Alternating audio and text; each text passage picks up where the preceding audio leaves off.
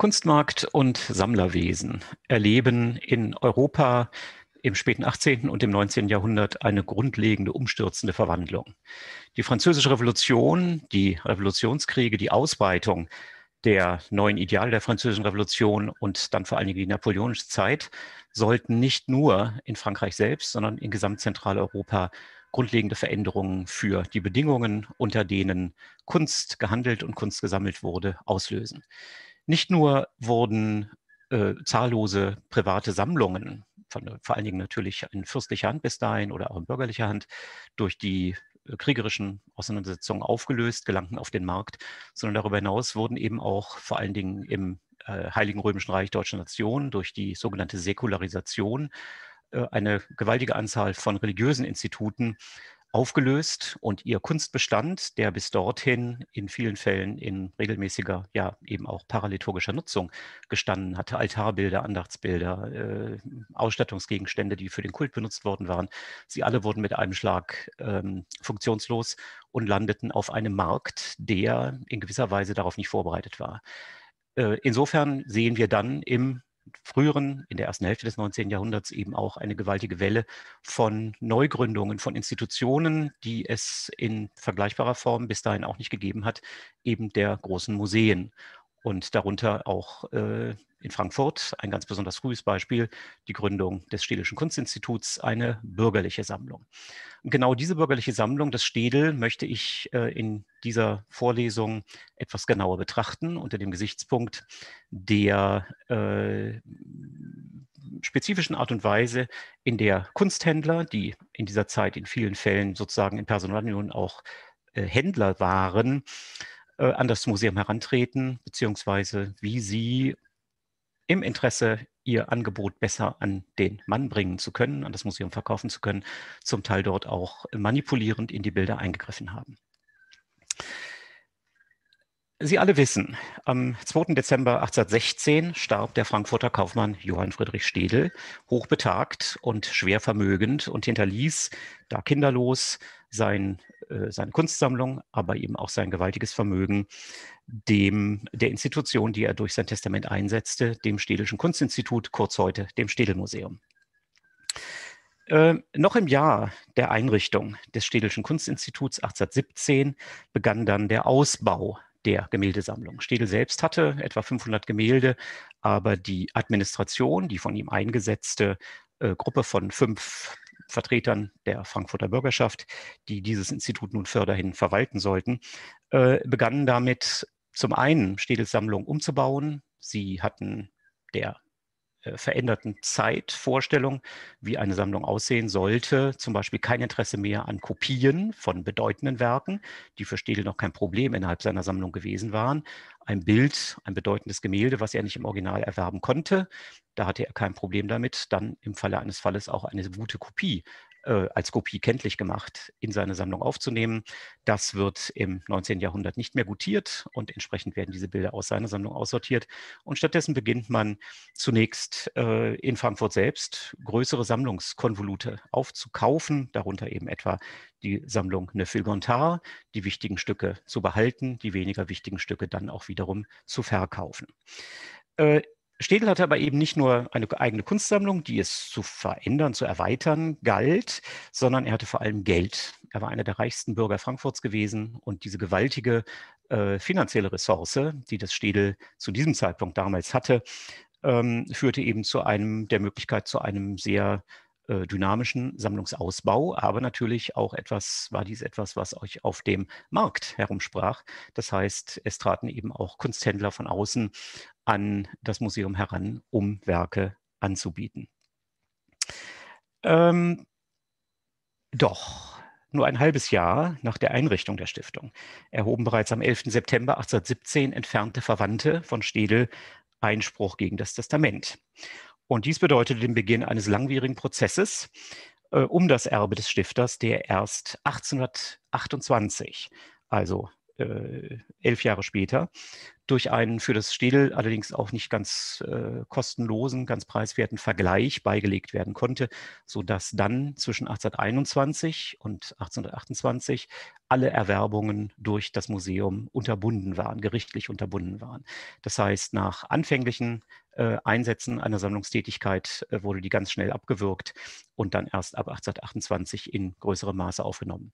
Wobei die Administratoren von vornherein das Ziel hatten, die private Sammlung Städels, die sehr stark natürlich von den äh, individuellen und privaten Vorstellungen und Geschmacksempfindungen des Stifters geprägt war, umzubauen, um einen großen, hochkarätigen Überblick über die Kunstentwicklung in Europa äh, durch weitere Erwerbungen zu realisieren. Ein Prozess, der natürlich nicht zum Ende gekommen ist und der äh, das Museum bis heute intensiv beschäftigt.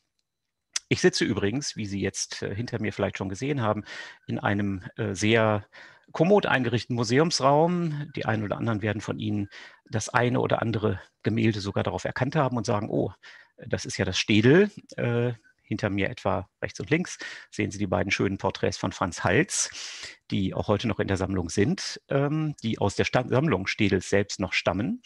Äh, allerdings, was Sie hier sehen, ist nicht etwa Realität. Ich sitze nicht in einem der Sammlungsräume im Städel, heute unter Corona-Bedingungen leer, sondern ich sitze vor der virtuellen Rekonstruktion oder in der virtuellen Rekonstruktion eines dieser Sammlungsräume aus dem Jahr 1833, als das Städel sein erstes eigenständiges Museumsgebäude nach dem Sammlungsbau von Städel selbst bezogen hatte. Und äh, vor einigen Jahren haben wir im Rahmen der Zeitreise im Internet eben diese Räumlichkeiten rekonstruiert aufgrund von präzisen Vorgaben und Angaben, äh, Hängepläne und äh, Wandaufrisse, die dann eben in digitaler Form jetzt so zum Leben erwacht sind. Also im großen Niederländersaal des Städel 1833. Hm. Die und hier nochmal ein Blick auf das äh, Städel selbst. Das ist das mittlere der drei Häuser, die Sie jetzt hier auf dieser äh, Farblithografie sehen, im Hintergrund am Rossmarkt selbst. Das ist das Gebäude, was Städel errichtet hatte ähm, und für seine Sammlung eingerichtet hatte. Wenn wir uns oder auch wenn Sie sich vertiefend intensiver beschäftigen wollen mit Sammlungsstrategien, auch mit der Art und Weise, wie äh, zunächst Städel, dann aber vor allen Dingen eben das Museum in den ersten Jahren und Jahrzehnten seines Bestehens gesammelt hat, äh, mit welchen Kontakten, mit welchen Händlern man im Kontakt stand, ähm, unter welchen Prämissen, unter welchen Überlegungen, welchen sich auch verändern Überlegungen hm, die äh, eben chronologisch wechselnden Besatzungen der Administration im 19. Jahrhundert das Museum ausbauen, was ihnen wichtig war, ähm, welche ähm, auch Geschmacksvorstellungen natürlich intensiv dort mit hineinspielen, welche Auffassung von Kunst. Dann gibt es eine äh, vorzügliche Quelle, die Sie dazu konsultieren können, ein Buch von Corinna Meyer, Die Geburt des Bürgerlichen Kunstmuseums, Johann Friedrich Städel und sein Kunstinstitut in Frankfurt am Main in äh, Berlin 2013 publiziert. Und äh, äh, Frau Meyer hat darüber hinaus ein Jahr zuvor einen online publizierten Artikel mh, hm, veröffentlicht, denn gute Gemälde hatte ich versprochen, gute habe ich geliefert, aber, aber, Zitat Ende, ein folgenreicher Streit um die Erwerbung eines Filippino Lippi im Städelschen Kunstinstitut um 1820. Das Zitat stammt von Johann David Passavant, einem wichtigen Frankfurter Künstler, der zu einem noch viel wichtigeren Frankfurter und internationalen Museumsmann und frühen Kunsthistoriker werden sollte. Einer der frühen Direktoren des Städelschen Kunstinstituts und äh, eben jemand, der in jungen Jahren als Künstler beginnt und der auch in jungen Jahren als Kunstagent, wie das für viele Künstler im äh, frühen 19. Jahrhundert auch nicht untypisch war, der eben in jungen Jahren auch als Kunstagent für in diesem Falle das Städelsche Museumsinstitut in ähm, Italien vor allen Dingen nach Erwerbungen Ausschau gehalten hat. Und äh, in der Tat, äh, Passavant vermittelt über einen Florentiner Kunsthändler eine ganze Anzahl von Gemälden, immer wieder, die auf Ansicht nach Frankfurt geschickt werden und dann von der Administration begutachtet werden, beziehungsweise von Künstlern, die die Administration damit beauftragt. Mm, und dann wird entschieden, ob gekauft wird oder nicht gekauft wird. 1818 äh, sammel, äh, schickt äh, Metzger, dieser Florentiner Kunsthändler, ein Deutscher, ähm, eine Gruppe von drei Gemälden nach Frankfurt auf Empfehlung von Passavant und darunter auch dieses dreiteilige Gemälde von Girolamo di Benvenuto, um 1500 entstanden, äh, was äh, unmittelbar akzeptiert wird, was erworben wird. Aber er schickt noch zwei weitere Bilder. Dieses Gemälde, eine Exo Homo-Darstellung von Sodoma und dieses Gemälde, eine Madonna mit Kind von Filippino Lippi, äh, was nun Anlass wird zu einem interessanten und auch für uns äh, unter dem Gesichtspunkt, was äh, äh, erstens, wie geschehen Ankäufe und welche Rolle spielen dabei unter Umständen eben auch Manipulationen, die der Verkäufer an diesen Gemälden durchgeführt hat, äh, ein interessantes Schlaglicht werfen. Insofern ähm, betrachten wir das ein wenig näher.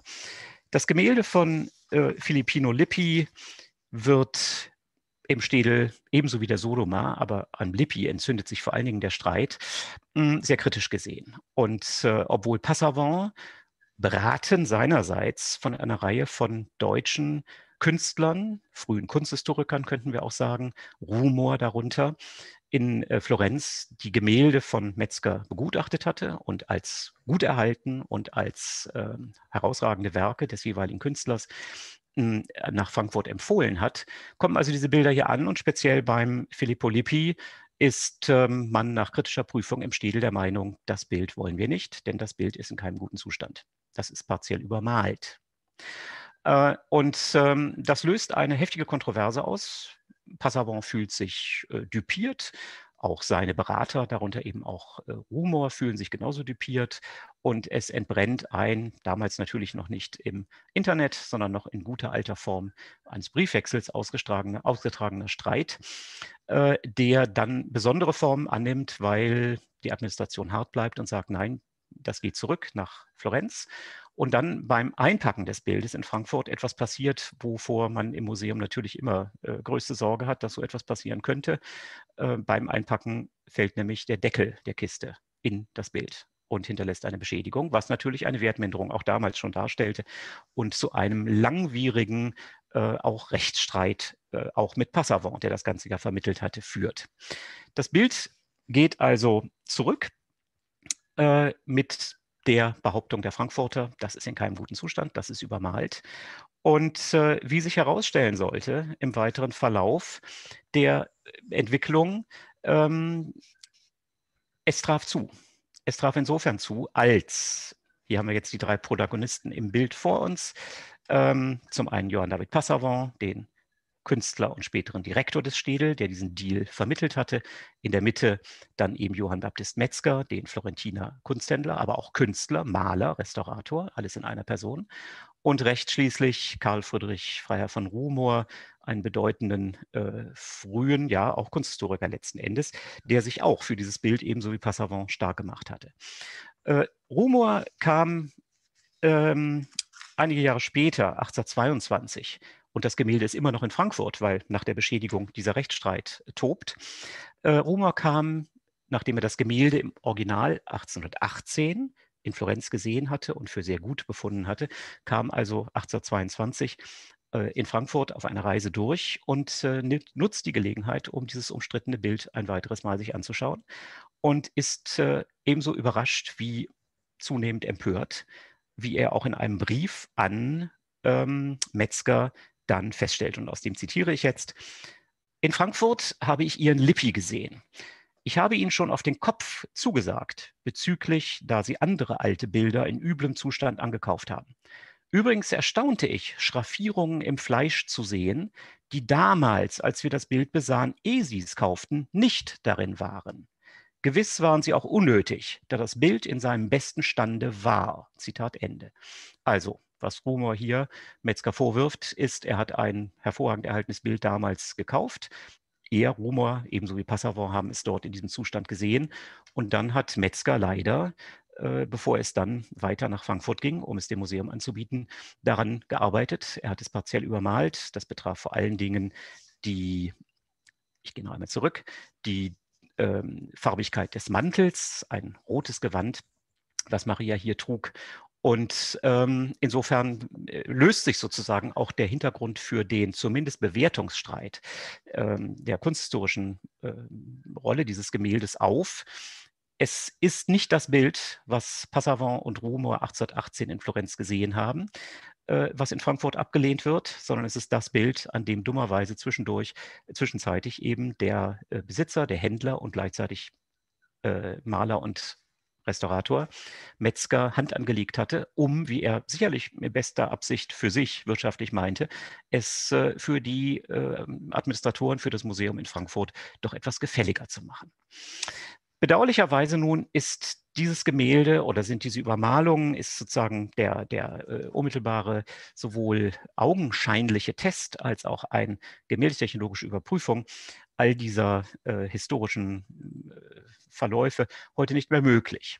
Das Bild ging zwar schließlich aus Frankfurt mit seinem restaurierten Schaden nach Florenz zurück. Metzger verkaufte es dann aber äh, an Berlin, an die Berliner Gemäldegalerie. Und dort befand sich dieses Gemälde bis 1945, als es dann als relativ großformatige Tafel unter den vielen Werken äh, der Berliner Gemäldegalerie äh, dann doch nicht als ein äh, zu evakuierendes Werk gelistet wurde. Das heißt, das Bild blieb in Berlin. Es wurde im Flakbunker Friedrichshain mit vielen anderen, vor allen Dingen großformatigen Werken der Gemäldegalerie eingelagert und ist dann dort unter bis heute nicht ganz geklärten Umständen 1945 äh, zerstört worden. Verschollen, wahrscheinlich zerstört, vermutlich verbrannt. Äh, für uns jedenfalls nicht mehr fassbar. Insofern können wir jetzt hier nicht sozusagen die Probe aufs Exempel machen und konkret schauen, äh, wo sitzt denn nun diese rote Übermalung ein Wort beiseite, mit einiger Wahrscheinlichkeit hätten wir, würde das Bild heute noch bestehen, auch gar nicht die Möglichkeit dazu, weil viele dieser nachträglichen Manipulationen, die eine Verkäuflichkeit steigern sollten in der Erwartung der Verkäufer, der Händler, äh, natürlich im Lauf des 19. oder auch des 20. oder frühen 21. Jahrhunderts als solche erkannt worden sind und dann in den Museen nach Dokumentation dieser Manipulation als spätere Zutaten entfernt worden sind, um den ursprünglichen Zustand, dem ursprünglichen Zustand der Gemälde wieder möglichst nahe zu kommen. Ähm, das ist ein Problem und das ist auch einer der Gründe, warum ich jetzt persönlich der ich ja, wie Sie wissen, dem Städel äh, seit vielen Jahren intensiv verbunden bin, auch beruflich, natürlich nun gerade dieses Fallbeispiel Städel ausgesucht habe, äh, weil dies jetzt die Zugriff und die Möglichkeit auf äh, Dokumentation äh, zu nehmen mir gibt, die so ohne weiteres eben für andere äh, Sammlungen nicht möglich wären. Viele dieser Veränderungen, sehr viele dieser Veränderungen, die äh, Werke im Verlauf des 19. Jahrhunderts bekommen haben, sind seither wieder entfernt worden. Äh, ja, was für Möglichkeiten oder was für Strategien sozusagen für Manipulationen hat es immer gegeben, aber gab es natürlich dann auch im 19. Jahrhundert.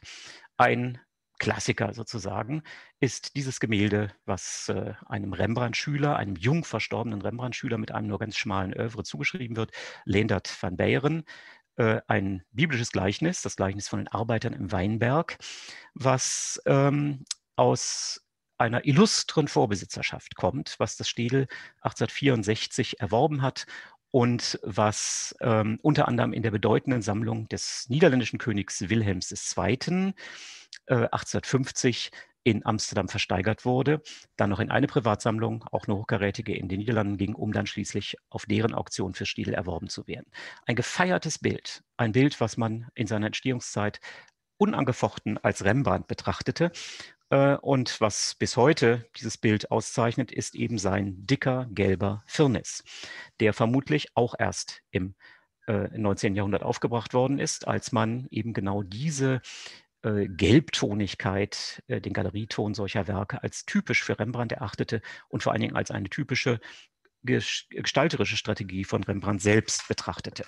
Das Bild nahm eine unglaublich prominente Rolle im Stil nach seiner Erwerbung in den 60er Jahren des 19. Jahrhunderts ein. Sie sehen hier wiederum eine virtuelle Rekonstruktion, in diesem Falle äh, des großen Niederländersaals im Städel im heutigen Mainflügel im Gebäude auf dem heutigen Museumskomplex, der 1878 eröffnet wurde. Und auch hier hat uns äh, die Vorarbeit von äh, Kuratorenvorgängern, die nämlich ihre Hängung für diese neue Eröffnung in schematischen Plänen dokumentiert und vorbereitet haben, äh, geholfen, dies jetzt virtuell zu rekonstruieren. Auf der Mitte der Wand, zentral platziert, äh, eines der relativ großen, größten Bilder äh, an der Wand sehen Sie eben jetzt das äh, dunkle Gemälde, ähm, was damals Rembrandt zugeschrieben wurde und die Platzierung am, im Zentrum der Wand, an diesem Filetplatz sozusagen innerhalb der Hängung, dokumentiert die hohe Wertschätzung. Der Grund dafür war, das sehen Sie hier unten auf der Folie, äh, in Schwarz-Weiß äh, schwer zu aufzunehmen und überhaupt schwer zu sehen, nur unter besonderen Lichtbedingungen, äh, die Signatur. Die Signatur, die eben behauptet Rembrandt fezit. Rembrandt hat es gemacht, 1656, aber diese Signatur, das stellte sich dann im weiteren Verlauf der Auseinandersetzung mit diesem Gemälde heraus, allerdings erst im 20. Jahrhundert, diese Signatur ist falsch und äh, sie ist ähm, damit auch für die Wertschätzung dieses Gemäldes seit dem frühen 20. Jahrhundert sozusagen der Todeskuss gewesen. Bis dahin gefeiertes Hauptwerk von Rembrandt in der Stilsammlung. Die Blendung sollte erst im frühen 20. Jahrhundert erworben werden. Ähm, wurde das Bild durch diesen Nachweis der Fälschung schlicht und einfach in den Orkus der äh, Rembrandt-Nachfolge gestürzt und befindet sich auch eben seitdem im Gemäldedepot. Im Depot des Museums äh, ist auch öffentlich nicht zugänglich. Fast schade, weil es eigentlich ein hochinteressantes Beispiel für den äh, natürlich Einfluss von einerseits wandelnden Geschmacksvorstellungen, aber gleichzeitig auch für den Einfluss von ähm, kunsthistorischen, stilistischen, aber auch technologischen Untersuchungen auf die Einschätzung von Kunstwerken darstellt. Ja, wie kann man das so sicher sagen, ob eine solche Inschrift original ist oder nachträglich. An der Handschrift natürlich nicht. Äh, es ist tatsächlich ein in vielen Fällen, in allermeisten Fällen, ein präziser technologischer Nachweis. Jedes Gemälde, egal ob auf Holz oder auf Leinwand gemalt, ist, dem Alt, ist der Alterung unterworfen. Eine Binsenweisheit. Ob Holz oder Leinwand, es handelt sich um ein organisches Material, was klimatisch bedingt arbeitet. Das heißt, es nimmt Feuchtigkeit auf, es dehnt sich aus, es gibt Feuchtigkeit ab, wenn es trockener wird im Raum, es zieht sich wieder etwas zusammen. Und dieser permanente Prozess der immer fortwährenden Bewegung im mikroskopisch kleinen Bereich, der führt dazu, dass irgendwann die zunächst elastische Farbschicht dann versprödet reißt, nicht von der Farbschicht abplatzt, von der, vom Grund abplatzt, aber eben reißt und das typische sogenannte Craquelé ausbildet. Genau das, was wir jetzt hier sehen, äh, ein typisches Holz-Craquelé links, ein typisches Leinwand-Craquelé rechts, an zwei Beispielen äh, Van Eyck und Nattier, 15. und 18. Jahrhundert.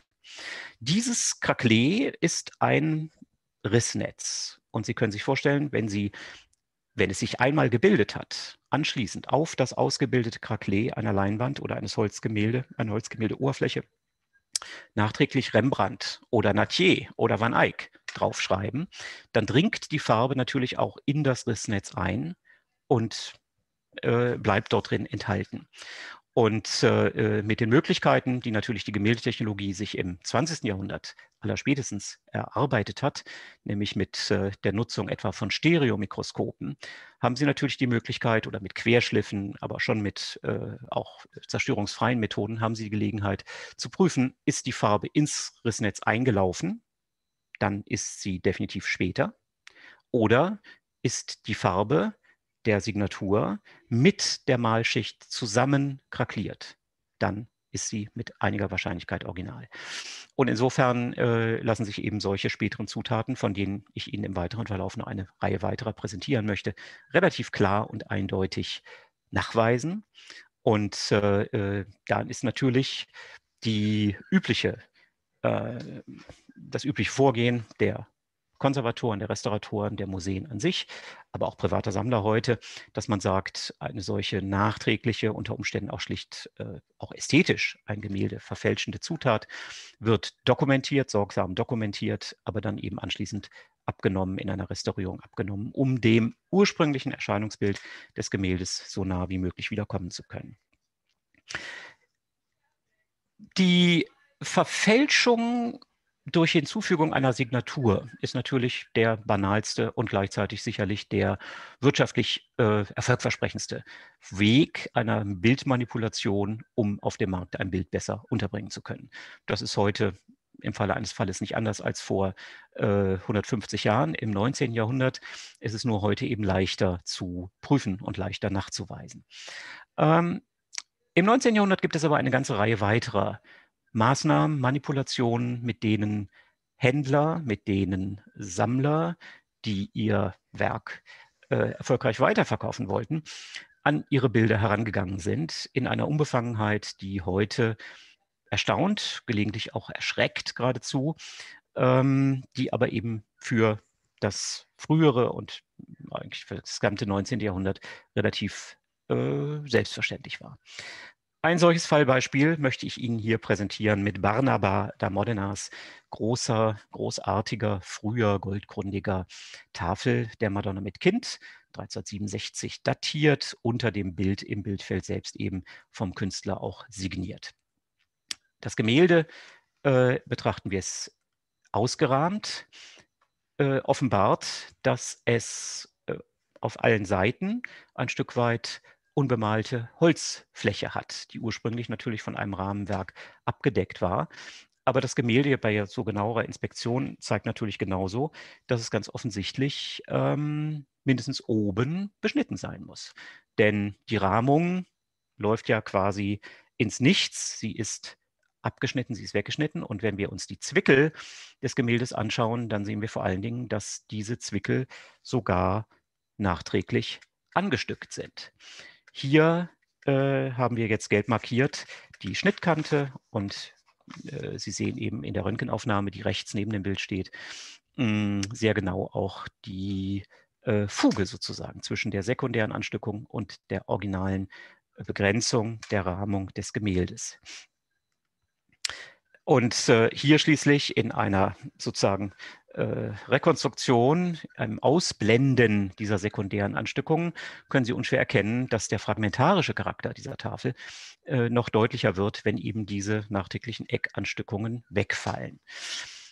Die Form, diese äh, schräg nach oben laufende Form, die in einer äh, trapezoiden Übergiebelung des Bildes ursprünglich geendet hat, ist für italienische Tafelbilder des äh, 14. Jahrhunderts völlig normal, ganz üblich und auch im Werk von Bernaba da Modena, diesem in Oberitalien tätigen Künstler, finden wir beispielsweise hier mit dem äh, Retabel der heiligen Lucia, die im Zentrum die äh, Altarpatronin zeigt, begleitet von eben zwei äh, Folgen von Viten-Szenen aus ihrem äh, Leben und ihr Martyrium, deshalb eben der Begriff Vitenretabel. Dieses vollständig erhaltene Vitenretabel von Barnabas, das zeigt uns, wie denn ursprünglich auch die Frankfurter Tafel ergänzt ausgesehen haben wird. Und vor allen Dingen macht sie uns deutlich, dass auch die Frankfurter Tafel eigentlich nur leider ein äh, Überrest eines viel größeren Ensembles war, denn auch sie war die Mitteltafel eines deutlich größeren, mehrregistrigen und äh, nach rechts und links natürlich genauso mit weiteren äh, Tafeln ausgestatteten großen monumentalen Altarbild. Hier ein weiteres Beispiel. Auch hier haben Sie jetzt bei der thronenden Madonna im Zentrum wiederum diese trapezoide äh, oberen Abschluss, der eben wie auf der vorherigen Folie gesehen, dazu diente, eine etwas kleinere Tafel darauf noch einmal aufsetzen zu können. Ähm, Barnabas der Monenas Tafel ist also äh, das Ergebnis einer Filetierung, einer äh, Zerstörung eines größeren Altarensembles, bei dem lediglich die Mitteltafel herausgesägt wurde. Ähm, der Rest ist verloren und es ist nicht sehr wahrscheinlich, dass man in der Zeit, als das passiert, Ende des 18., frühes 19. Jahrhundert, äh, auf die anderen Tafeln besonders viel Wert gelegt hat. Diese Tafel, die schließlich in Städel kommt, hatte für, die frühen, für den frühen Markt sozusagen ein Alleinstellungsmerkmal, der sie trotz ihres bescheidenen künstlerischen Wertes, den man damals gesagt hätte, ist ja nur gotisch, was ja eher als abwertende Stilbezeichnung gemeint war, im späten 18., im frühen 19. Jahrhundert.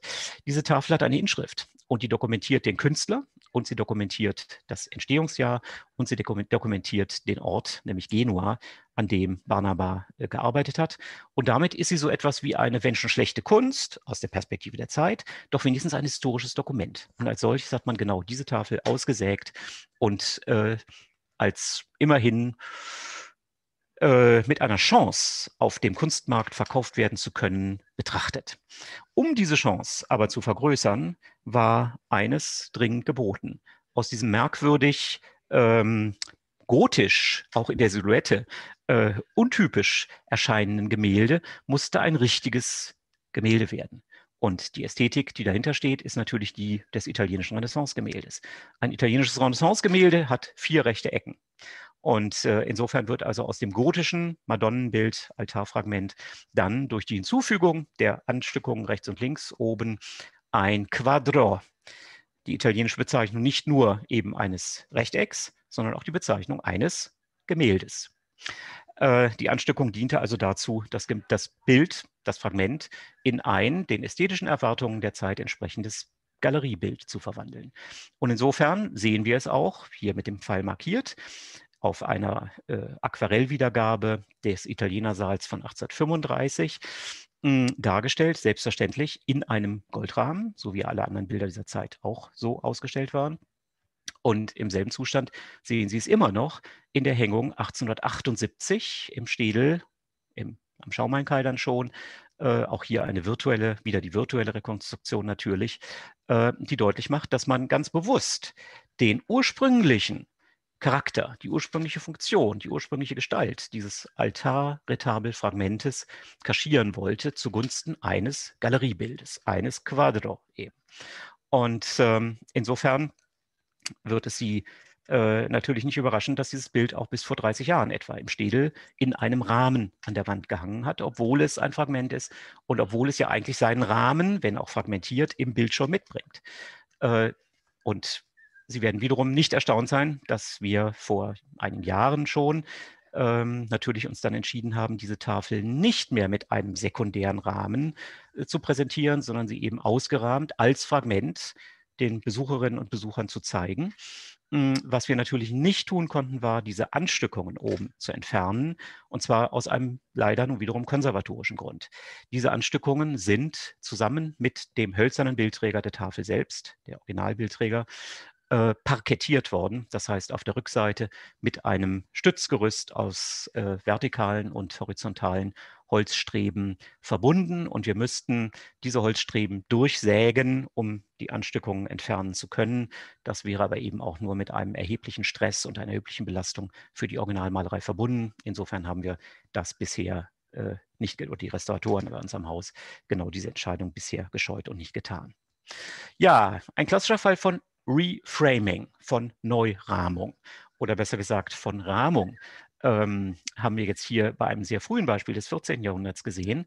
Äh, Reframing im praktischen oder auch im übertragenen Sinne bleibt das Thema unserer folgenden Beispiele. Wir springen in der Zeit, wir gehen in die Mitte des 16. Jahrhunderts zu einem äh, bedeutenden und hocheindrucksvollen Gemälde von Giovanni Battista Moroni, bedeutender Bildnismaler in Oberitalien, der hier einen Laienbruder ins Bild gesetzt hat. Ein Gemälde übrigens, was 1843 Johann David Passavant damals schon Inspektor oder Direktor des Städel, aber äh, immer noch auch äh, Sammler von Kunst, dann dem Städel schenkt. Und Sie sehen hier nur eine Schwarz-Weiß-Aufnahme, weil es sich um den Zustand vor der letzten großen Restaurierung 1991 handelt. Ähm, was auffällt an dieser Darstellung ist, wie merkwürdig schwimmend die Figur im Bildformat sitzt. Äh, sie wirkt klein vor diesem großen Raum oder Hintergrund besser gesagt, der ist monochrom. Und wenn wir uns diesen äh, Hintergrund etwas genauer ansehen, dann sehen Sie dort, wo jetzt diese grünen Pfeile auf der Vergleichsabbildung sitzen, dass dort sich ja ganz deutlich äh, an den Ecken etwas abzeichnet, was eine Störung wiedergibt. Äh, das hat schon im 20. Jahrhundert äh, dazu geführt, dass man erkannt hat, was da passiert war, nämlich dass ganz offensichtlich der Trägerrahmen sich durch diese Leinwand durchzeichnet und dass das unschön aussieht. Und daraufhin hat man dann, äh, ich entschuldige mich für die schlechte Bildqualität, ist oben da nur angeschnitten. Sie sehen jetzt das Gemälde in seinem damaligen Rahmen. Und dieser Rahmen äh, war so formatmäßig gewählt, dass er diese etwas hässlichen Verfleckungen im Randbereich an beiden Seiten und oben des Originalgemäldes kaschieren sollte. Was war da passiert? Ähm, was da passiert war, das zeigte sich nach der nochmaligen Untersuchung vor knapp 25 Jahren und der dann eindeutigen Befundermittlung und der anschließenden Restaurierung. Das Gemälde hat einen Rahmen, allerdings keinen realen Rahmen. es hat einen gemalten Rahmen. Und genau dieses Spielen mit der Wahrnehmung des Betrachters, die dieses Gemälde ursprünglich so besonders macht, das Raffinierte an Moronis Bilderfindung, dass er nämlich seinen Laienbruder in einem fingierten, gemalten, auf die Leinwand mit gemalten, simplen hölzernen Rahmen präsentierte, das hat ganz offensichtlich, äh, dieses Sophistication hat ein späterer Besitzer äh, nicht zu gutieren verstanden und hat gesagt, ja, das ist doch irgendwie komisch, verstehe ich nicht, was soll das, ist kein schöner Rahmen, da muss auch ein Galtrahmen drum. Also hat er es einem Maler gegeben. Restauratoren sind ja eigentlich erst eine Berufsgruppe, die es erst seit dem 20. Jahrhundert gibt als Spezialisten, also einem Maler gegeben, hat gesagt, mal den grauen Grund einfach weiter. Genau das ist passiert. Und wenn Sie jetzt noch einmal, jetzt leider nur schwarz-weiß farbig im Vergleich, aber die beiden Bilder sich anschauen, verstehen Sie sofort, wie elementar wichtig es war, diese übermalte, fingierte Rahmung wieder freizulegen, um dem Bild wieder, dem Bildnis wieder seine ursprüngliche buchstäblich Fassung zu geben. Das Framing, ähm, was äh, ein missverstandener äh, eine missverstehende und missverstandene äh, Geschmacksverirrung, möchte ich sagen, eben im vermutlich 19. Jahrhundert im Sinne von, das wollen wir besser verkaufen können, eben beseitigt hatte. Fragmente lesbar zu machen, beziehungsweise Fragmente als Fragment nicht erkennbar zu machen. Dafür haben wir ein weiteres bedeutendes Beispiel in der Städelsammlung. Das ist diese Tafel, die Sie alle kennen aus der Schausammlung der sogenannte Meister von Flemall, ein bedeutender Künstler des frühen 15. Jahrhunderts, ähm, in der Werkstatt von Robert Campin Tournay tätig. Und äh, dieses Bild zeigt das äh, für die Zeitverhältnisse erschütternd realistisch dargestellte Porträt eines Gekreuzigten, eines der Schächer, die mit Jesus bei der Kreuzigung äh, hingerichtet worden sind, und zwei Zuschauer. Dieses Bild ist, äh, so wie Sie es jetzt hier auf der Folie sehen, eben erst vor vier Jahren zum jetzigen glanzvollen ursprünglichen Zustand zurückgeführt worden. Bis vor vier Jahren sah es noch so aus. Äh, ein dicker gelber Firnis und vor allen Dingen der kostbare Hintergrund, ein Pressbrokat, der ein Goldtextil imitiert, war durch eine Fülle von Beschädigungen und von lauter kleinen Restaurierungen, die Sie jetzt hier erahnen können, eben völlig überzogen und verändert. Noch einmal die beiden Bilder im Vergleich. Das ist so ein bisschen wie äh, das berühmte Bildbeispiel in der Höhe zu. Erkennen Sie die Unterschiede. Der größte Unterschied oder der motivische Unterschied ist natürlich das flatternde Tuch, was äh, vom linken Bildrand hereinragt. Und dieses flatternde Tuch ist eben auch im 19. Jahrhundert übermalt worden, weggemalt worden, äh, weil man den Kontext, der sich daraus ergibt, da flattert etwas von links heran, also geht es ja wohl auf der Seite irgendwie weiter, äh, nicht mehr hatte, beziehungsweise auch nicht verstand und genau diesen fragmentarischen oder diesen Hinweis, dass das ein Fragment ist, kaschieren wollte. Der ursprüngliche Zustand äh, oder Kontext des Schächer-Fragments im Städel, den erhält diese frühe Kopie äh, aus dem späten 15. Jahrhundert eines unbekannten Künstlers, der das Gesamtwerk, aus dem das Fragment stammt, äh, ihnen vor Augen stellt, nämlich die Kreuzabnahme Christi und auf den Flügelbildern die Schächer. Ähm, Im Bildersturm im 16. Jahrhundert ist dieses Altarwerk, was äh, möglicherweise in Brügge ursprünglich gestanden hat, zerstört worden und nur das Fragment, was in Frankfurt sich erhalten hat, ist erhalten geblieben. Und Sie sehen hier eine Rekonstruktionszeichnung die im Zuge der Restaurierung vor vier Jahren und der anschließenden Ausstellung im Liebighaus in neuem Glanz angefertigt worden ist von Fabian Wolf. Und Sie können jetzt ein, erahnen, wie der äh, Bildzusammenhang ist. Also dieses Gewand, dieser Gewandzipfel, der da herumflattert, ist nichts anderes als ein Engelsgewand eines Engels, der eigentlich der Mitteltafel zugehörig ist und dessen Gewand sozusagen in dem äh, durchgehenden Hintergrund auf die äh, rechte Seitentafel äh, flattert und damit die Tafel mit der Mitteltafel natürlich optisch entsprechend verbindet. Hier noch einmal der äh, Zusammenhang. Genau die hat man weggemalt, hat sie unterdrückt, äh, weil, gleicher Impuls wie bei Meo da Siena, bei unserer Madonnentafel mit ihrem gotischen Altaretabelformat, man aus diesem Einzelbild ein, oder diesem Fragment, pardon, aus diesem Fragment ein pseudo-autonomes Einzelbild, ein Galeriewerk produzieren wollte, verwandeln wollte, und insofern auch hier wieder äh, der Blick in die Hängung von 1878, die virtuelle Rekonstruktion. Und dort sehen Sie eben das Gemälde in einem Goldrahmen hängen, als sei es ein selbstständiges Gemälde, als sei der Schächer am Kreuz das Bildthema. Ähm, es wird also ganz bewusst kaschiert und verborgen, dass es sich um ein Fragment handelt. Hier ein Blick in die Ausstellungssituation vor vier Jahren im Liebighaus. Und Sie sehen die große freistehende Vitrine, in der eben das Fragment als Fragment äh, präsentiert wird. Und genau diese Installation ist natürlich dann auch nach dem Ende der Sonderausstellung in das Städel, ins Haupthaus sozusagen wieder überführt worden. Und äh, in der Form sehen Sie in dieser Vitrine eben von beiden Seiten zugänglich und sichtbar das Schächerfragment des Meisters im Flemmal ähm, und können damit auch sehen, unmittelbar nachvollziehen, das ist ein Fragment. Das wird natürlich noch deutlicher, wenn die Rückseite betrachtet werden kann, was nur in dieser Vitrine möglich ist. Hängt das Bild gerahmt an der Wand, wissen wir nicht, sehen die Besucherinnen und Besucher nicht, was auf der Rückseite dargestellt ist.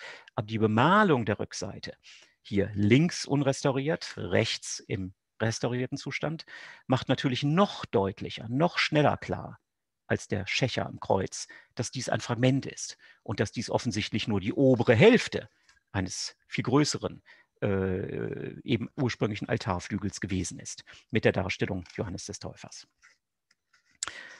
Reframing muss nicht heißen, man verändert was am Format. Das muss nicht heißen, man äh, malt einen Rahmen weg oder man rahmt ein Bild, was eigentlich gar nicht als normales rechteckiges Galeriebild konzipiert war.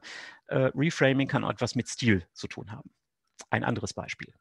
Dirk Bautz und Werkstatt, eine kleinformatige Madonnentafel, ein Bild für die individuelle Andacht, äh, Ende des 15. Jahrhunderts entstanden zeigt die für Dirk Bautz so typische äh, innige Darstellung eines halbfigurigen Bildes der Madonna, die ihrem Kind die Brust gibt. Und äh, äh bei näherer Betrachtung, es soll ja immer interessant sein, Bilder auch mal aus der Nähe zu betrachten, ähm, sehen wir, dass die große Falte am Rücken der Madonna ähm, farbig zwar der Originalmalerei des restlichen Mantels relativ gut angepasst ist, aber in ihrer Struktur deutlich grober ist. Wir gehen noch etwas näher heran. Und äh, jetzt sehen wir sogar, dass sich unter dieser grober strukturierten Farbe, dieser Ergänzung, ein kleiner grüner Kanal sozusagen auftut, an dem wir erkennen können, dass eben diese grobe rote Farbergänzung des Marienumhangs auf dem bereits ausgeführten Grün des ursprünglich angelegten Hintergrundes der Tafel befindet. Das lässt sich nun technologisch präzise nachvollziehen. Hier haben wir eine Infrarotreflektographie und Sie sehen, dass das Material der Ergänzung natürlich anders zusammengesetzt ist, andere Pigmente, andere Zusammensetzung hat als die originale Farbe des roten Mantels. Und deshalb wirkt das Ganze eben dann in der Infrarotreflektographie dunkler, hat einen anderen Grauton. Ähm, die Ergänzung ist also wasserdicht und klar. Und das wird auch besteinigt und bestätigt durch zwei äh, Kopien, zeitgenössische Kopien aus dem 15. Jahrhundert nach dem Gemälde selbst. Hier eine Zeichnung in Dresden. Äh, die ist zwar auf der linken Seite beschädigt, aber Sie können unschwer erkennen, dass die Kontur sozusagen des Schulter, äh, die Schulterkontur Mariens dort eben der äh, auf die Ergänzung verzichtet, sondern die Figur ebenso wie dieses Gemälde qualitativ nun nicht gerade erste Klasse zugegebenermaßen, aber dennoch auch eine äh, wohl noch im 15. oder frühen 16. Jahrhundert ausgeführte Kopie. Auch die zeigt den Zustand des Frankfurter Gemäldes vor der Erweiterung um diesen, wenn wir jetzt genauer hingucken, ein wenig buckelartig wirkende Ergänzung. Ja, der Grund wiederum relativ leicht erklärlich. Die gotische äh, Silhouette dieses sehr schlanke, dieses sehr zerbrechliche, dieses sehr äh, äh, vertikal ausgerichtete der ursprünglichen Figurengestaltung von Dirk Bautz entsprach schlicht und einfach im 19. Jahrhundert nicht dem an Renaissance, an italienischer Renaissance geschulten Geschmack. Und willkürlich rausgegriffen sehen Sie sich Bellinis Madonna mit Kind und Heiligen an, äh, die dort wirklich natürlich körperhaft ausgebildet, äh, raumgreifend dargestellt ist. Das war sozusagen das, was diesem Maler, Restaurator in Anführungsstrichen, der das Städelgemälde, bevor es das Städel äh, erworben hat, eben verbessert hat, im Hintergrund hatte, im Hinterkopf hatte, um aus einer, ja eben nochmal, gotischen Madonna und damit eher gotisch als Sinn, naja, also das ist diese mittelalterliche stilistisch doch unseren heutigen Vorstellungen nicht so ganz entsprechende Kunst, äh, noch an, verhaftet ist, dieser Vorstellung verhaftet ist und der insofern also dann etwas schön Renaissancehaftes äh, daraus macht. Heute würden wir natürlich sagen, selbstverständlich, Gotik ist ein äh, äh großartiger Stil und spätgotische Malerei ist anders als Renaissance-Malerei und genau dies wollen wir wieder sehen. Ob irgendwann einmal in der Zukunft äh, am Städel die Entscheidung getroffen werden wird, diese Übermalung wegzunehmen, das bleibe dahingestellt. Ich habe, für mich hätte das keine hohe Priorität, weil sie letzten Endes wirklich nur beim genauen Hingucken dem Betrachterinnen und Betrachter auffällt. Ähm, es ist keine wirklich entscheidende ästhetische Beeinträchtigung. Und äh, es ist halt auch ein Zeitdokument, ein Dokument ästhetischer äh, Wertschätzung beziehungsweise ästhetischer Einschätzung eines Bildes, hm, die sich von unserer heutigen natürlich grundlegend dann doch unterscheidet. Ein weiteres Beispiel, Reframing in stilistischer Hinsicht.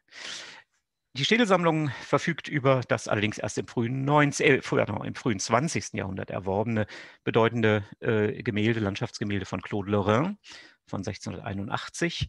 Äh, eine im silbrigen Morgenlicht sich präsentierende Landschaft, in der äh, nicht nur Christus und Maria Magdalena dargestellt sind, sondern rechts eben auch das Grab Christi, das leere Grab mit dem Engel vor der Tür äh, Christus als Gärtner mit einem Spaten in der Hand dargestellt.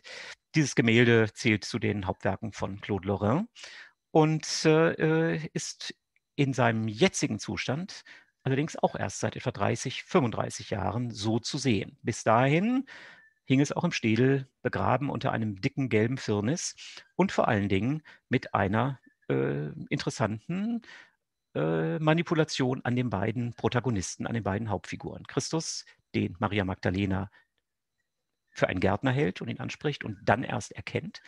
Christus also ähm, und Maria Magdalena hier also in einem Close-up, äh, ich bitte die schlechte Qualität zu entschuldigen. Äh, das ist das Beste, was wir in der Restaurierungsdokumentation haben für diese Figürchen.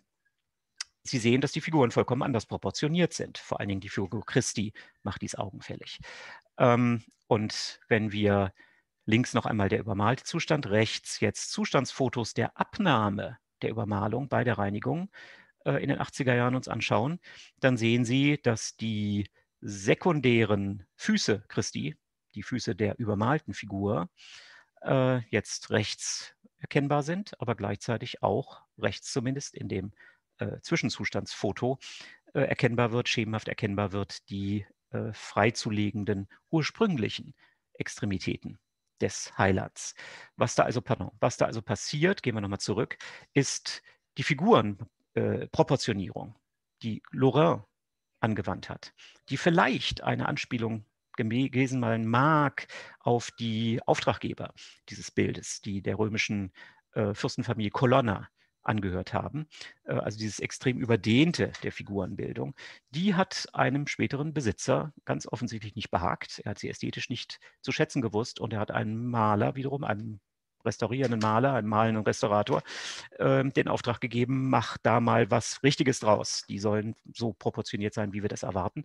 Und entsprechend wird also der Christus jetzt allerdings eher gestaucht. Äh, es geht eher in die entgegengesetzte Richtung. Vor allen Dingen deshalb natürlich wirkt dies so, weil der Oberkörper, an dem relativ wenig verändert worden ist, nur diese sehr langgestreckten Beine wurden zurückgenommen. Also auch hier eine ästhetische Kritik am Bild, die sich in der Übermalung äh, zum Ausdruck bringt und die dann technologisch nachgewiesen eben äh, zugunsten des ähm, heutigen oder der heutige Zustand zugunsten des ursprünglichen Erscheinungsbildes des Gemäldes korrigiert worden ist. Reframing kann noch viel weitergehen. Nicht nur, dass man einen neuen Rahmen drum macht oder einen ursprünglich gemalten Rahmen wegnimmt, um einen schönen großen vergoldeten Holzrahmen eventuell drum setzen zu können, ähm, oder indem man die äh, Assistenzfiguren, quasi die Staffagefiguren eines Landschaftsbildes manipuliert. Nein, es kann noch weitergehen. Und dafür ist dieses äh, äh, Gemälde von Altobello Meloni ein schönes Beispiel. Frühes 16. Jahrhundert, italienische Renaissance, Oberitalien.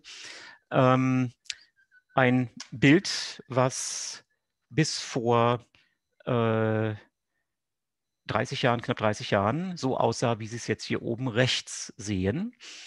Ähm, obwohl das ein Ektachrom ist, da merkt man auch, wie schnell natürlich auch dieses Fotomaterial leider vergeht, ähm, ist das nicht im optimalen Zustand mehr und äh, insofern habe ich es auch nicht auf die volle Größe ziehen können, sonst sehen Sie nämlich jetzt vor allen Dingen ein unscharfes Bild. Was Sie aber sofort erkennen können, wiederum nach dem Motto Hör-zu-Vergleich, sehen Sie den Unterschied, das ist, dass diese ähm, äh, Bogenform, auf die sich die Figur vorne mit ihren Händen stützt, im Zustand bis vor 30 Jahren erstaunliche Zutaten hatte, nämlich diese Haifischflossenartigen Aufsätze, die aus dem Gemälde äh, in der Wahrnehmung für die Besucherinnen und Besucher des Städel ein Martyriumsinstrument machten und damit die Figur präzise benennbar machten als heilige Katharina von Alexandrien, die eben mit einem Rad gerädert zu Tode gebracht werden sollte. Als Katharina, als Darstellung der heiligen Katharina wird das Bild eben 1840 vom Städel erworben über den römischen Maler und Kunsthändler Filippo Benucci, einen großen Geschäftspartner des Museums in der Mitte des, in der ersten Hälfte des 19. Jahrhunderts. Benucci hat sehr viel ans Städel verkauft. Ähm, und äh, er verkauft dies eben als Darstellung der heiligen Katharina.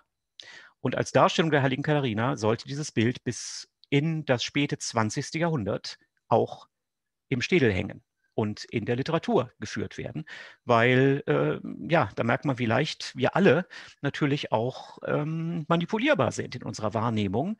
Wir alle kennen die Heilige Katharina, wir alle wissen, die hat immer dieses Rad dabei, die hat diese Zacken drauf. Und insofern, Zacke, aha, sofort assoziiert man Katharina, damit ist der Fall geklärt, die Ikonografie ist äh, identifiziert. Was etwas merkwürdig bei der Katharina mit ihrem Rad ist. Erstens, das hätte jedem anderen auch früher auffallen können. Mm, das Rad ist erstaunlicherweise aus Segmenten zusammengesetzt, was für Rad nicht gerade praktisch ist. Und vor allen Dingen, das sehen Sie jetzt auch am restaurierten Zustand, das sah man aber auch am unrestaurierten Zustand schon, die Materialität dieser Segmente aus denen das scheinbare Rad der Katharina zusammengesetzt ist, äh, wirkt eher wie Stein, denn da gibt es äh, eine Aussplitterung. Und äh, genau diese Beobachtungen haben dann vor knapp 30 Jahren das erste Mal dazu geführt, zu hinterfragen, kann das sein? Was ist da los? Das Bild ging in die Restaurierungswerkstatt, wurde technologisch untersucht und dann war sofort und ganz schnell klar, ja, in der Tat, das Ganze ist eine nachträgliche Manipulation. Und äh, äh, im Röntgenbild wurde eben auch erkennbar, warum da etwas manipuliert worden ist. Die Röntgenaufnahme, die Sie jetzt hier links sehen, ist die Röntgenaufnahme im restaurierten Zustand. Äh, deshalb sehen Sie auch die Zacken nicht mehr darauf. Aber was Sie an dieser Aufnahme sehen können, ist, ähm, dass äh, oben am Röntgenbild sich sehr deutlich abzeichnet ein sogenannter Malbart. Das heißt, der Übergang der originalen Malerei zum verlorenen Originalrahmen, da gibt es so eine kleine Verdickung der Malschicht, die eben ein eindeutiges Indiz dafür ist, die Tafel ist oben nicht beschnitten. Hingegen unten, da sehen Sie so kleine Ausbrüche äh, in der Malschicht, die typisch sind für die Folge des Einsatzes einer Säge. Äh, durch Holz- und Malschicht eines gealterten Bildes. Die geht nicht glatt durch, sondern die hinterlässt eben kleine Ausbrüche. Insofern ist ganz eindeutig, das Bild ist mindestens unten nachträglich, sekundär, sehr viel später beschnitten worden. Und das ist auch der Schlüssel für die, ähm, für die Deutung der ursprünglichen Darstellung. Die Tafel ursprünglich, des Frankfurter, die ursprüngliche Darstellung des Frankfurter Bildes, ähm, ähnelte einer im frühen 16. Jahrhundert in Italien eingeführten Ikonografie eben des Narziss, dieser androgynen äh, Schönheit, der sich in sein eigenes Spiegelbild verliebt, als er es im äh, Wasserspiegel eines Brunnens vor sich sieht. Das macht der Nachfolger von Poltraffio in London auf dem linken Vergleichsbild deutlicher, indem man eben die Spiegelung im Wasser wahrnehmen kann, obwohl auch diese Tafel partiell wohl beschnitten ist. Aber das ist am Frankfurter Bild nach einer sekundären Beschneidung, warum auch immer die ausgeführt worden ist, weil das Bild beschädigt war, weil es auf eine kleinere Wandfläche sollte, wir wissen es nicht. Aber durch die Beschneidung war dieser ikonografische Zusammenhang für die Betrachter nicht mehr erkennbar. Und genau daran hat man sich gestört. Und genau deshalb hat man dann eben äh, aus dem Narziss, der sich über den steinernen, gemauerten Brunnenrand beugt, um sein Spiegelbild zu bewundern, dann eben nachträglich eine, eine Katharina gemacht. Das äh, äh abgenommene, die abgenommene Übermalung des 19. Jahrhunderts übrigens äh, betraf nicht nur die Zacken, die aus dem Brunnen ein Rad machen sollten, sondern auch das Gewand der, äh, des Narziss wurde durch kleine Stickereiaufsätze und so weiter äh, genauso weiblicher in Anführungsstrichen gemacht, wie die Haarpracht äh, noch etwas ausführlicher ausgeführt. Und schließlich hier eben ein Beispiel auch um 1500, also zeitgleich etwa mit Altobellos Gemälde, in diesem Fall ein großer äh, Millefeuille-Teppich mit der Darstellung des Narziss, der nun wirklich, wie Sie sehen, im Wasserspiegel des Brunnens sein Spiegelbild beobachten kann. Nachträgliche Veränderungen, Manipulationen, Übermalungen, äh, in bester Absicht ausgeführt, können unter Umständen auch ähm, stilistische Einschätzungen, können kunstgeschichtliche Bewertungen auch von Hauptwerken erschweren oder gelegentlich sogar in die Irre führen. Und das möchte ich Ihnen an einem letzten äh, Beispiel jetzt noch vorführen. Sie alle kennen diese drei Tafeln. Sie gehören mit zum bedeutendsten Besitz des Städel-Museums im Bereich der frühniederländischen Malerei. Ähm, das Schächerfragment ist das vierte, was in dieselbe Gruppe gehört, Meister von Flemall. Und ähm, aktuelle Besucher vor dem Lockdown des Städel werden festgestellt haben, dass äh, zunächst die Veronika-Tafel und inzwischen auch die Madonnentafel aus der Galerie herausgegangen sind in die Restaurierungswerkstatt. Beide Tafeln werden zurzeit einer großen Untersuchung und parallel dazu laufend dann oder anschließend daran äh, laufend einer umfänglichen Reinigung unterzogen. Und ich möchte mit Ihnen einen genaueren Blick auf die Veronika tun. Sie können sich jetzt schon freuen auf die spektakuläre Wieder Wiedereinzug beider Gemälde im Verlauf dieses Jahres. Ähm, es ist großartig, was da passiert. Der dicke gelbe Firnis, der über allen Tafeln äh, bisher gelegen hat, ist reduziert worden und äh, auch eine ganze Reihe von Manipulationen eben, unser Thema hier, ähm, sind äh, erkannt und sind dann auch nach präziser Dokumentation äh, dabei abgenommen zu werden. Die Veronika ist ja auch Teil eines ursprünglich viel größeren Altarretabels gewesen, eines mehrfach wandelbaren Altarretabels. Ähm, und ähm, die ist in Partien nicht gut über die Zeit gekommen. Das können Sie an der rechten Aufnahme sehen. Dort ist rot all das kartiert im Bereich, nur im Bereich des Ehrentuchs, was die Figur hinterfängt. Alles, was so schön rot ist, zeigt Ihnen, wo die Originalmalerei schlicht weg ist. Ähm, die ist im 19. Jahrhundert, wie Sie an der linken Aufnahme sehen können, relativ gut ergänzt nachdem Originalpartien ergänzt worden. Und insofern hat man sich, ähm, unsere Restauratoren äh, und wir als Konservatoren gemeinsam uns dazu entschieden, diese ja wirklich sehr große Fläche nicht abzunehmen, sondern diese äh, Retuschen des 19. Jahrhunderts zu belassen, sie aber dann eben äh, farblich sozusagen zu integrieren mit der Originalmalerei. Aber im Bereich der Figur äh, und vor allen Dingen eben im unteren Bereich der Figur sehen Sie jetzt hier den Zwischenzustand, kriegen Sie keinen Schreck. Das Bild, so wie sich jetzt darstellt, ist äh, natürlich ohne Firnis äh, und dadurch wirkt es so stumpf. Aber was Sie natürlich unmittelbar sehen können mit dem ersten Blick, ist die unglaubliche Veränderung der Farbigkeit, die die Tafel äh, erfährt, durch die Entfernung dieses dicken, gelben, wie ein Filter, wie ein optischer Filter wirkenden Firnis. Ähm, die Farbigkeit verändert sich auf dramatische Weise. Ein ähnlicher Prozess, den wir alle mit äh, Begeisterung und Erstaunen äh, verfolgt haben bei der in den letzten Jahren durchgeführten Reinigung des Genter Altars der Brüder Van Eyck. Über Closer to Van Eyck können Sie das ja auch im Internet hautnah äh, im, eins zu eins sozusagen verfolgen. Und auch dort hat man eben durch die Abnahme dieser gelben Firnisse eben eine ästhetische äh, Neuauferstehung dieser Gemälde feststellen können.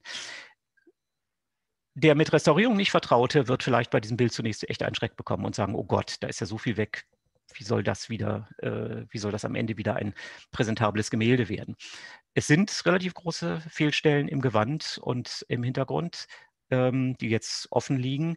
Es sind aber Gott sei Dank keine Fehlstellen äh, in bildrelevanten Details, wenn jetzt beispielsweise das halbe Gesicht der Veronika weg wäre. Das wäre ein Drama. Das ist aber nicht der Fall. Das heißt, diese äh, Bereiche im Gewand, die schlicht und einfach von der Logik her dessen, was da dargestellt gewesen sein muss, viel leichter zu ergänzen und zu schließen sind, ähm, als dies die Interpretation eines Auges wäre. Das wäre unmöglich, das könnte man nicht. Aber äh, eine solche Gewandfalte wieder zu schließen, das wird die Restauratoren vor keine äh, unüberwindbaren Schwierigkeiten stellen und das Gemälde wird eben nach der Restaurierung sich in einer äh, wieder ästhetischen Geschlossenheit präsentieren. Das kann ich Ihnen jetzt schon versprechen. Ähm, Nochmal ein Blick auf die Oberfläche vor der Restaurierung. Und Sie sehen alleine an der schrundigen ähm, Oberfläche, wie viel da drauf sitzt, was da alles passiert ist. Dort gibt es nun im Bereich dieser Falte ein Faltengeschiebe, was schlicht und einfach im Gegensatz zu allen anderen äh, Details in der Gewandbildung aller Flemmerler-Tafeln unlogisch ist. Gemeint ist natürlich, die Veronika trägt einen roten Mantel und darunter ein blaues Goldbrokatgewand, was entweder komplett mit Pelz, weißem Pelz gefüttert ist, aber zumindest gesäumt ist. Und diesen Saum sehen Sie ja auch unten am äh, Rand des Gewandes zum bewachsenen Boden hin oder über der äh, Trippe über ihrem Schuh aufstehen. Aber dann gibt es oder gab es eben bis vor kurzem noch diesen zweiten Saum, der so merkwürdig äh, nach oben ausschwingt. Und äh, Sie können sich jetzt wirklich mit einem Stück Stoff hinsetzen und versuchen, das irgendwie so zu falten oder zu anzuordnen, dass das dabei rauskommt, es wird nicht gehen. Und insofern war äh, auch meine Position, etwa im Bestandskatalog der alten jellenischen Gemälde im Städel, nicht zuletzt aufgrund dieser Falte, die im Vorzustand auch bei den bisherigen Untersuchungen eben nicht als nachträgliche Ergänzung erkannt worden war, erkan zu erkennen war. Ähm, die äh, Schlussfolgerung, die ich und wesentliche Teile der Forschung mit mir sozusagen dann auch gezogen haben, dass nämlich hier offensichtlich derjenige, der dieses Gewand ausführt, nicht ganz verstanden hat, was in der vorbereitenden Zeichnung, in der Unterzeichnung der entwerfende Meister gemeint hat. Und dass insofern also aus solch einer Diskrepanz der Logik, der Bildlogik her, der Umsetzung eines Details, ähm, man ein Argument, eines unter mehreren, aber eben doch auch ein nicht unwichtiges hätte, zu sagen, hier ist offensichtlich eine zweite Hand, ein Gehilfe dann mutmaßlich äh, bei der Arbeit, die eben nicht in die Bildentwicklung, in die konzeptionelle Entwicklung der Darstellung von vornherein eingebunden war. Die Restaurierung nun stellt unmissverständlich dar und deutlich, dass an der Stelle, wo bis vor geraumer Zeit eben diese nachträglich ergänzte 19. Jahrhunderts Pelzkante gesessen hat, ähm, das Ergebnis nicht etwa eines Missverstehens des ursprünglich tätigen Malers war, sondern das Ergebnis des Missverstehens des malenden Restaurators im 19. Jahrhundert. Und äh, insofern ist sie weggegangen, ist sie abgenommen worden und äh, äh, befindet sich natürlich genau dort, wo sie jetzt hier in diesem Bereich diese große Fehlstelle oder befand sich dort, wo Sie jetzt diese große Fehlstelle sehen. Ähm, ein Fallbeispiel dafür, wie ein in dem Falle Missverstehendes, wenn auch in bester Absicht. Man will das Bild schöner machen, man will es wieder ablesbarer machen, verständlicher machen. Im 19. Jahrhundert natürlich auch mit der Intention, ich will es verkaufen, äh, am Bild etwas manipuliert wurde, was dann sogar in diesem Falle für die kunsthistorische Bewertung, die kunsthistorische Einordnung eines solchen Gemäldes mh, hm, wichtige Konsequenzen hatte. Natürlich, klar, ähnlicher Fall in dem Sinne wie die äh, Martyriumsratzacken äh, bei der heiligen Katharina.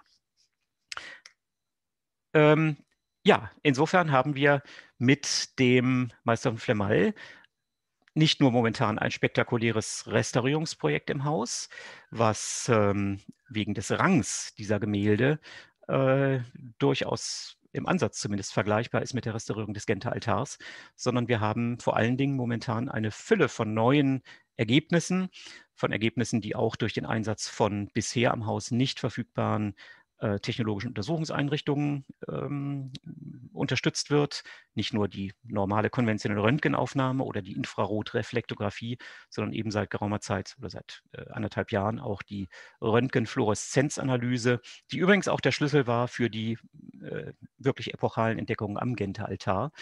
Insofern ist äh, die Auseinandersetzung in diesem Falle auch mit der nachträglichen ähm, ja, dem nachträglichen Reframing, dem Bemühen, Fragmente, denn auch das sind diese Tafeln, eines größeren, heute zerstörten ursprünglichen funktionalen Zusammenhangs eines großen doppelt wandelbaren Altars, um diese Reste, die man da aus dem Bildersturm von 1566 gerettet hatte, wieder präsentabel und auch verkaufbar zu machen im 19. Jahrhundert, als sie ins Städel kommen, äh, sind also diese Untersuchungen momentan auch interessant unter diesem Gesichtspunkt, wie ist man historisch mit diesen Bildern umgegangen und äh, in welcher Weise wird etwas manipuliert an der Erscheinung, um die Verkäuflichkeit zu erhöhen und damit natürlich für uns gleichzeitig in den Museen immer wieder bei solchen äh, Beobachtungen auch die Frage, wie gehen wir damit um? Ähm, wir gehen damit heute im Falle eines Falles sehr viel dokumentierender sehr viel sorgfältiger um, indem wir den Vorzustand versuchen, so genau wie möglich fotografisch oder auch zeichnerisch ähm, festzuhalten, bevor er entfernt wird.